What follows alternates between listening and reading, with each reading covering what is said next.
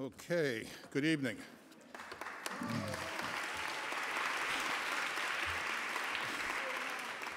Good. I was in Tripoli in northern Lebanon in 1983 covering a major battle for Time magazine between the PLO and the Palestinian opponents sponsored by Syria.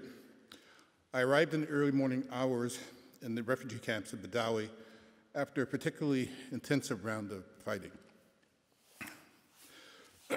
I walked through the camps and made photographs of the aftermath.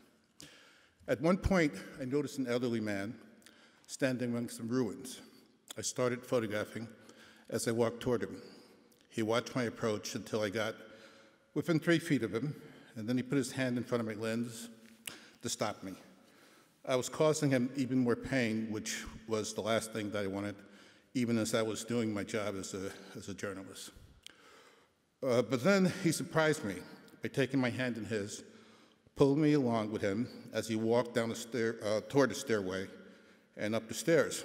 There was the bed he slept in, along with a gaping hole from a rocket that landed against the wall next to his bed.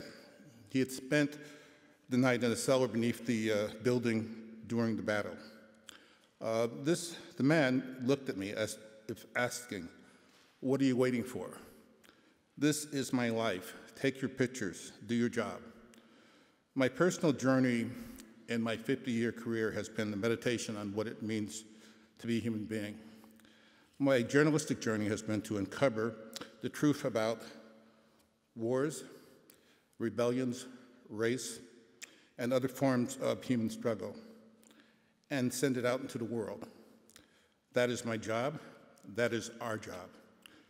Here now is a selection of my work through many years in journalism.